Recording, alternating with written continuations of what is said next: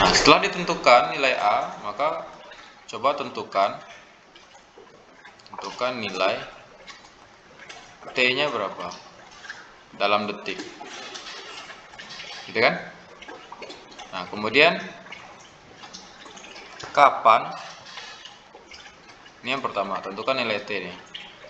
Kapan uh, bola berhenti? Bolanya berhenti ya. Itu kapan? Jadi kali ini tentukan nilai T sama berapa detik untuk tadi berapa? S sama dengan 100 meter. Kalau gini, kapan bola berhenti? Yang terakhir pada jarak berapa? Jarak berapa